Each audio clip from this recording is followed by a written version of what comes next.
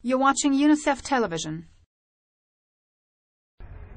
There's a cruel irony hanging over the vast tented camps of Pakistan. In the wake of the devastating floods, which washed away nearly 2 million homes and impacted the lives of 20 million people just a few weeks ago, today what is most needed is clean water. The needs of the people affected are many, but right now we need to focus on safe drinking water, hygiene, and sanitation because without these, there is a serious danger of diseases spreading.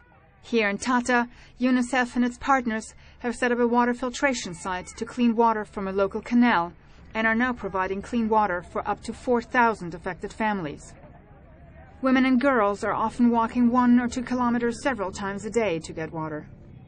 The filtration plant also distributes clean water to three large water bladders, huge plastic sacks used to store the clean water and strategically placed throughout the camp.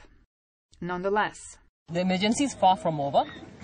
The, the flood waters, while uh, in some areas is still rising, um, but the area where, where we are right now, Thatta, the flood waters hit last month and people have started going back. But for many, there is little to go back to. The sprawling camps surrounding the town of Thatta are their makeshift homes for now. The land is dusty and strewn with rubbish, flies are everywhere, and the heat is suffocating.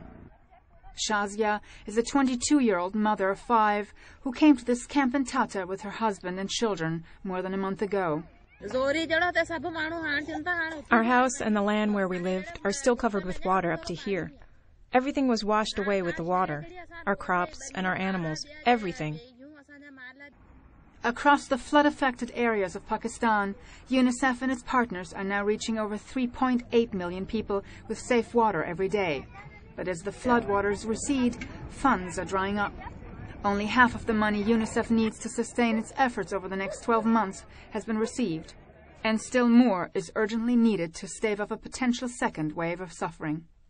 This is Anya Barron reporting for UNICEF Television. For more information, visit unicef.org. Unite for Children.